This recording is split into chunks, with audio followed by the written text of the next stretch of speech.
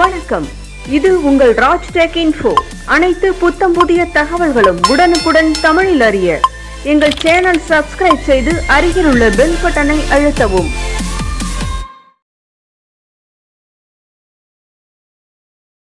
வணக்கம். இது உங்கள் ராஜ்டெக் இன்ஃபோ. நீங்கள் வீடியோவில் பார்க்க போகிறது இந்தியன் ரோட்டுக்கு வந்திருக்கிற ஒரு புது எலக்ட்ரிக் ஸ்கூட்டர். இதை பற்றி தான் பார்க்க போகிறோம்.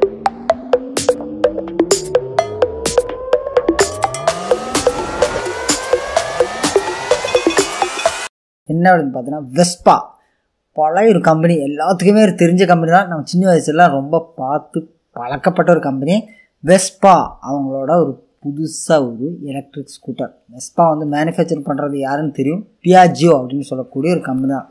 இவங்களோட எலக்ட்ரிக் ஸ்கூட்டர் வந்து லான்ச் பண்ணியிருக்காங்க. ரெண்டு வேரியண்ட் இருக்குது என்ன விலை? பர்ஃபார்மன்ஸ் எப்படி இருக்குது வாங்கலாமா? வேண்டாமா? ஃபுல் டீட்டெயில் இந்த வீடியோவில் அனலைஸ் பண்ணி நமக்கு பார்க்கலாம்.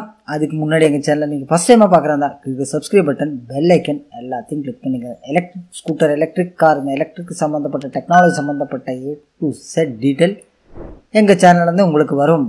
சரி வாங்க பார்க்கலாம்.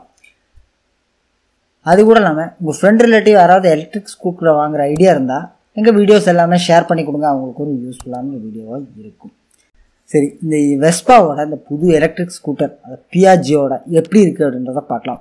ஒரு மிட் ரேஞ்ச் பெர்ஃபார்மன்ஸ் தரக்கூடிய ஒரு ப்ரீமியம் எலக்ட்ரிக் ஸ்கூட்டர் தான் பியாஜியோட ஒன் எலக்ட்ரிக் அப்படின்னு சொல்லக்கூடிய இந்த ஸ்கூட்டர் வேரியண்ட் ஸ்டைலிஷான ஒரு ஸ்போர்ட்டி டிசைன் கொடுத்துருக்காங்க அந்த பியோஜியா ஒன்னுக்கு வருங்காலத்தில் வந்து பார்த்தீங்கன்னா எலக்ட்ரிக் ஸ்கூட்டர் எல்லாமே வந்து ரிமோட் கீ தான் இருக்கும் அப்படின்னு சொல்லியிருக்காங்க. ஏன்னா ஓலாக்கெல்லாம் கீயே கிடையாது.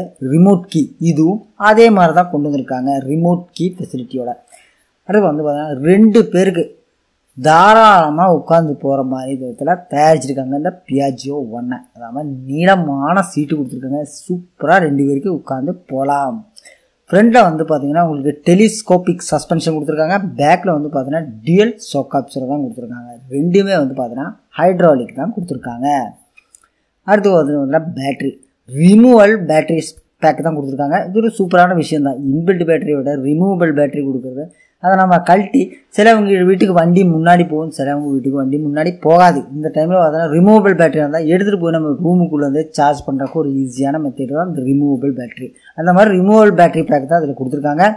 பூட் ஸ்பேஸ் அப்படின்னு பார்க்கும்போது சீட்டு கடையில் தாராளமாக ஒரு ஹெல்மெட் வைக்கிற அளவுக்கு உண்டான ஒரு பூட் ஸ்பேஸும் கொடுத்துருக்காங்க. அடுத்து வந்து முன்னாடி. முன்னாடி வந்து பார்க்கும்போது ஒரு அஞ்சு புள்ளி அஞ்சு இன்ச்சஸ் கொண்ட ஒரு எல்சிடி ஸ்க்ரீன் இதில் கொடுத்துருக்காங்க. முன்னாடி ஹேண்டிலுக்கு மேலே. இதில் வந்து பாருங்கள் உங்களுக்கு பேட்டரியோட பர்ஃபார்மன்ஸ் பார்க்கலாம் ரேஞ்ச் எவ்வளோ போகுது பாக்கி இருக்குது அப்படிங்கிறத பார்த்துக்கலாம் ஸ்பீடு பார்க்கலாம் ஓடோமீட்டர் பார்க்கலாம் டைமர் இது எல்லாமே உங்களுக்கு கொடுத்துருக்காங்க. அடுத்ததோட ஸ்பெசிஃபிகேஷனுக்கு வரலாம். இது வந்து பார்த்தீங்கன்னா ரெண்டு ரைடிங் மோடு கொடுத்துருக்காங்க இதில். Eco mode and sports mode அப்படின்னு சொல்லக்கூடிய ரெண்டு ரைடிங் மோடு உங்களுக்கு கொடுத்துருக்காங்க. இந்த எக்கோ மோடில் வந்து பார்த்தீங்கன்னா டாப் ஸ்பீடு எவ்வளோன்னு பார்த்தீங்கன்னா முப்பது கிலோமீட்டர் தான் உங்களுக்கு போகும். அடுத்து வந்து பார்த்தீங்கன்னா ஸ்போர்ட்ஸ் மோடில் வந்து டாப் ஸ்பீடு அப்படின்னு பார்க்கும்போது நாற்பத்தஞ்சு கிலோமீட்டர் தான் உங்களுக்கு போகும். One point two kilo watt motor இதில் வந்து யூஸ் பண்ணியிருக்காங்க. அடுத்து வந்து பார்த்தீங்கன்னா எவ்வளோ ரேஞ்ச் போகும் அப்படின்னு பார்த்தீங்கன்னா தொண்ணூறு கிலோமீட்டர் சிங்கிள் சார்ஜில் இந்த வண்டி உங்களுக்கு போகும். அடுத்து வந்து உங்களோட ரெண்டாவது மாடல் ரெண்டாவது மாடல் வந்து பார்த்தீங்கன்னா பியாஜியோ ஒன் ஆக்டிவ் ஃபர்ஸ்ட் வந்து பார்த்தீங்கன்னா Piaggio one second one Piaggio one active இது வந்து பார்த்தீங்கன்னா டாப் ஸ்பீடுன்னு பார்க்கும்போது அறுபது கிலோமீட்டர் பெர் ஹவரில் அந்த வண்டி போகும். ரேஞ்ச் எவ்வளோன்னு பார்த்தோன்னா தொண்ணூறு கிலோமீட்டர் ரேஞ்ச் தான் அதுக்கும் இதுக்கும். ரெண்டுமே பார்த்தீங்கன்னா தொண்ணூறு கிலோமீட்டர் ரேஞ்ச் தான். இதில் வந்து பார்த்தீங்கன்னா ரெண்டு கிலோவாட் மோட்டர் வந்து யூஸ் பண்ணியிருக்காங்க.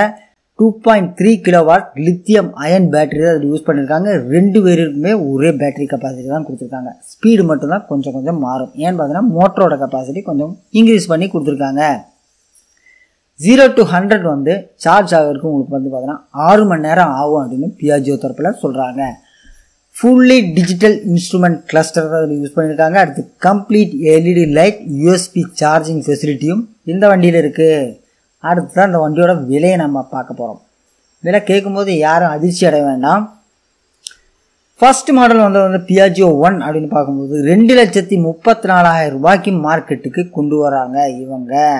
அடுத்து பியாஜியோ ஒன் ஆக்டிவ் அப்படின்னு சொல்லக்கூடிய மாடல் வந்து பார்த்தீங்கன்னா ரெண்டு லட்சத்தி எண்பத்தேழாயிரம் ரூபாய்க்கு மார்க்கெட்டுக்கு கொண்டு வரதா சொல்லியிருக்காங்க.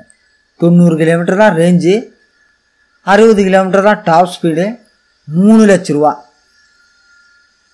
என்ன ஐடியாவில் கொண்டு வந்திருக்காங்கன்னு தெரியல. சிம்பிள் ஒன்னெல்லாம் ஒரு லட்சத்தி பத்தாயிரம் ரூபாய்க்கு இரநூத்தி எண்பத்தோரு கிலோமீட்டர் ஃபுல் சார்ஜர் உங்களுக்கு ரேஞ்சும் கிடைக்கும். நூற்றி முப்பத்தஞ்சு நூற்றி பதினஞ்சு கிலோமீட்டர் டாப் ஸ்பீடும் கொடுக்குறாங்க.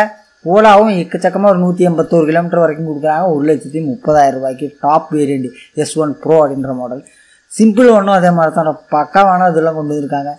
இவங்க என்னடா பார்த்தா ரெண்டு லட்சத்தி முப்பத்தி நாலாயிரம் ரூபா கொடுத்து நம்ம தொண்ணூறு கிலோமீட்டர் சார்ஜ் அதுவும் முப்பது கிலோமீட்டர் ஸ்பீடில் போய் என்ன வாங்க ஐடியான்னு தெரியல. இதெல்லாம் மார்க்கெட்டுக்கு வந்தால் எப்படி தாக்கு பிடிக்கும்? பத்து இருபது இருபது வண்டி விற்குமா அப்படின்றத சந்தேகமாக தான் எனக்கு இருக்குது இந்த விலை வேறங்கள் இதோட ஸ்பெசிஃபிகேஷன் எப்படி இருக்குது இந்த Piaggio one Piaggio one active அப்படின்றத மறக்காமல் கமெண்ட்ஸில் சொல்லுங்கள் அடுத்த ஒரு டாப் டக்கரான வீடியோ சந்திக்கலாம். அது அது வரைக்கும் நன்றி வணக்கம்.